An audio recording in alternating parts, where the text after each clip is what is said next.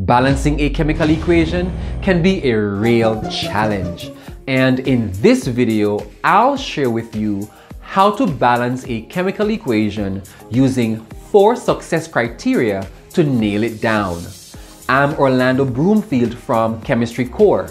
Let's solve this chemistry exam style question together. How to write a balanced chemical equation. To correctly do so, we need to know the nature of the chemical reaction, symbol for the elements, formula for the compounds, and how to use coefficients to balance the chemical equation. We will need to kick things off with an understanding of the nature of the reaction. That will give us the reactants, the products, and their state symbols. All we have from the question is that calcium carbonate reacts with hydrochloric acid. Now to know what the products are, we need to rely on the theory of the reaction of acids. Acids will react with metal carbonates to give three products, a salt, carbon dioxide,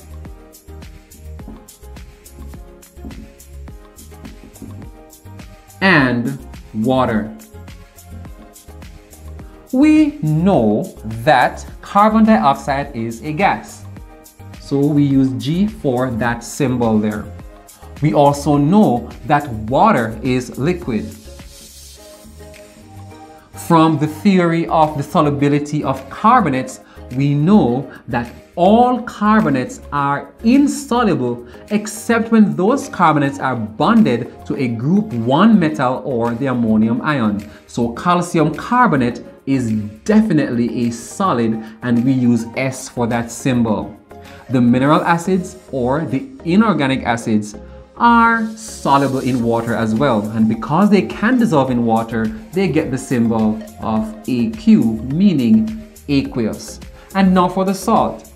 A salt is formed when the replaceable hydrogen ions in an acid are replaced by a metal or the ammonium ion. Hydrochloric acid will produce salts known as chlorides.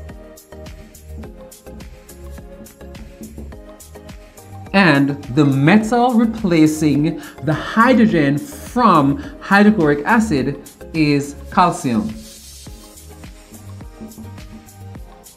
So the salt is calcium chloride plus carbon dioxide CO2 plus water H2O. And for the solubility of calcium chloride, all chlorides are soluble except silver and lead. Well, calcium is neither silver nor lead, so of course it is aqueous. Next, we are going to use the correct symbol for each element and the correct charge of each ion in order to determine the formula of the missing compounds.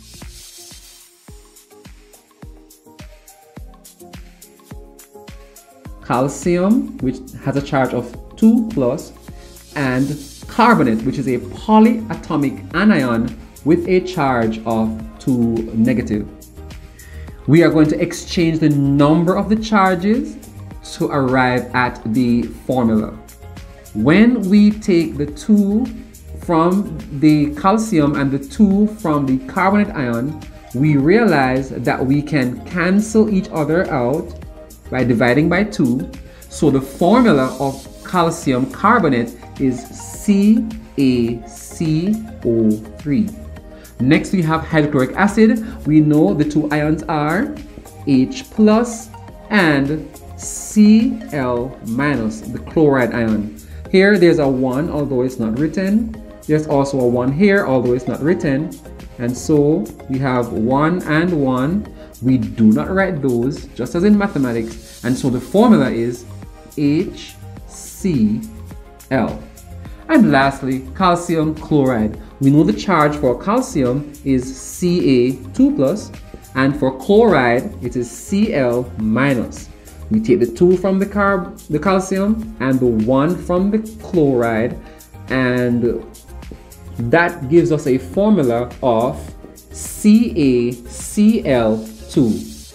And now we are at our final stage where we will use coefficients if necessary to ensure that there are equal amounts of each element on both sides of the equation. On the left hand side, we have one calcium. We also have one on the right hand side. That's fine. On the left hand side, we have one carbon. We also have one carbon on the right hand side. That's fine. We have a total of three oxygen on the left hand side and two and one, three on the right hand side. Yay. We have one hydrogen on the left hand side and two on the right, which means we need to put a two here to balance the amount of hydrogen atoms um, in the equation. But this two here also affects this chlorine here. So that's now two chloride ions on the left hand side. And guess what? We also have two on the right hand side, which means our equation is completely balanced. Thank you for watching this video on solving problems in chemistry with Chemistry Core. If you were tuned in, you are now able to convert worded equations to symbol equations with state symbols.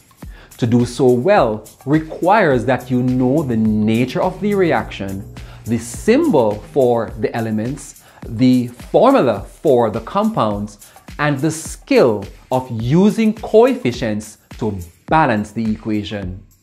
Good luck on your exams, and I'll see you next time.